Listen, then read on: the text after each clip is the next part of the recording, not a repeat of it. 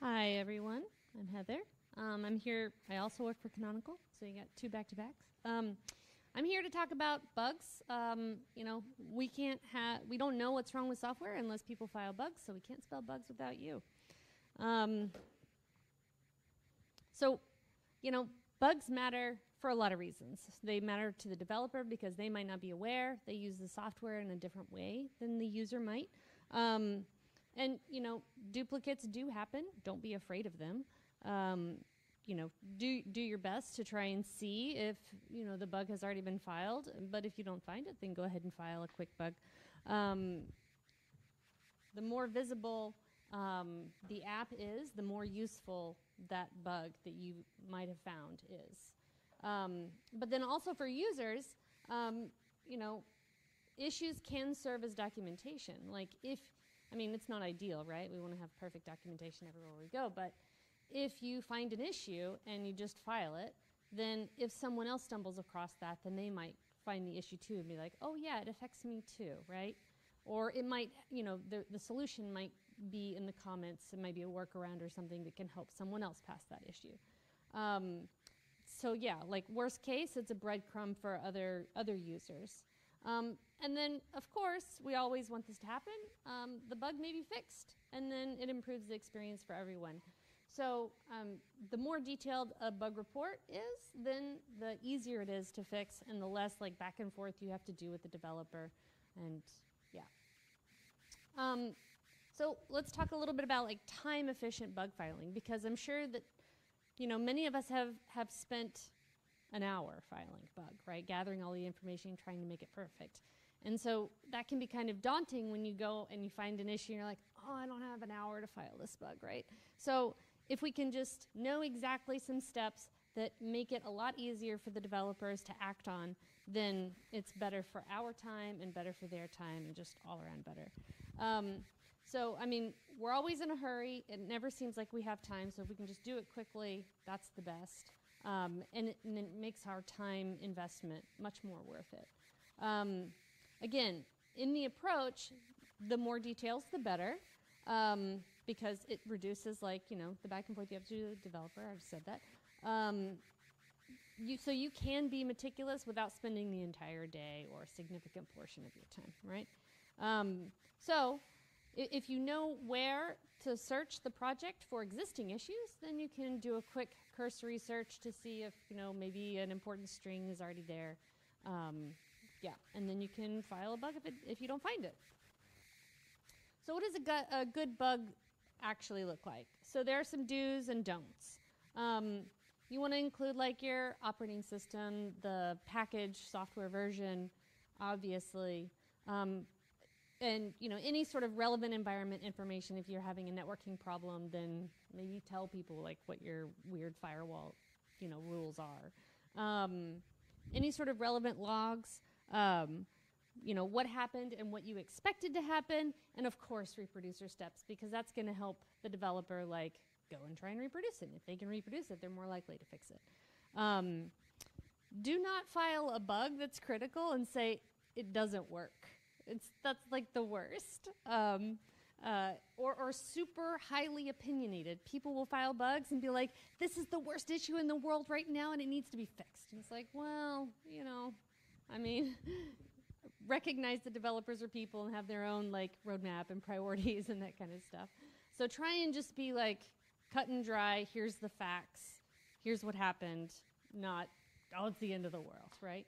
Um, and and you know try and file it in the right place that's not always the easiest i know like at canonical we have like launchpad and we have github i mean do, do your best but if it kind of goes in the wrong place like probably the right person's going to see it and, and forward it to the right place right um, so if we want to look at a couple of different types of systems we'll start with debian based systems like ubuntu so debian has report bug um, that you can use to help you know it'll it'll use mail uh, to automatically send it or generate like the email type format that then you can email. Um, Ubuntu has a Ubuntu bug that that automatically like files a launchpad bug with the you know uh, right logs and stuff, but you know sometimes we forget to use these tools and we just go and file a bug. And if you do that, which is which is cool, then you can, you know, attach that information later with apport collect.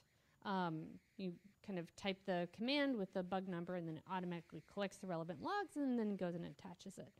Um, you know, if your issue is at boot time, then you have dmesg will help, you know, sort out issue. Uh, journal control is a beautiful thing. Um, so journal control dash F, right? You can just like take watch the logs when you reproduce the problem and capture, copy paste whatever those relevant logs are into the bug and easy peasy.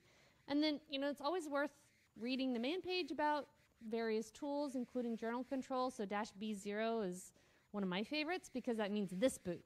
If you want to talk about last boot, then it's dash B dash one, right? Um, and and so on.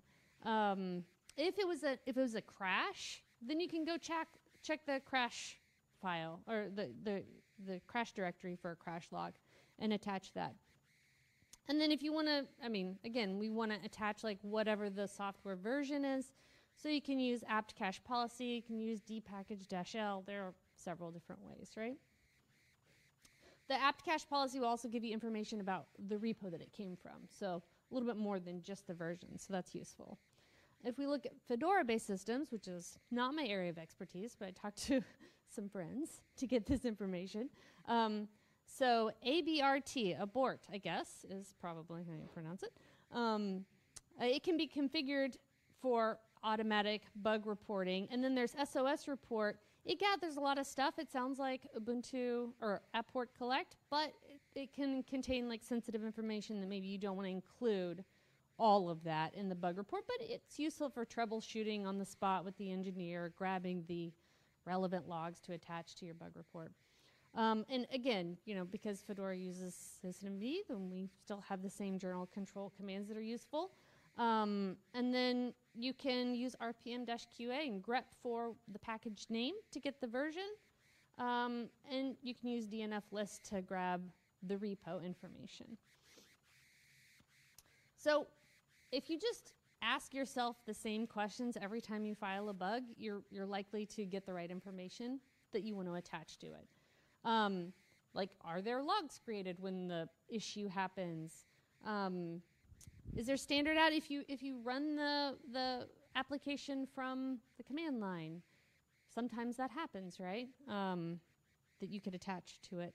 Um, any sort of relevant environment information, again, like the networking one's a good one. If you've set up some special firewall rules, or if you've got like a VPN that you're going through, then you know that that that's important. Um, if you can provide a short video, so in GNOME, you can do just print screen which is beautiful, um, and you know take a little video of the actual issue or even screenshots. Uh, KDE has something similar. You can hit the print screen and then you kind of go tools and then record screen to take a little video. Um, and and you know again like what happened and what did you expect to happen? Um, what were you doing when the problem occurred? Can you get it to happen again? Um, and always as a bonus, like does it happen on another distro? I uh, definitely have VMs for Debian and Fedora that I will go like, well, this happens in GNOME on Ubuntu, but what does it happen? Does it is it coming from Debian or does it happen on Fedora as well?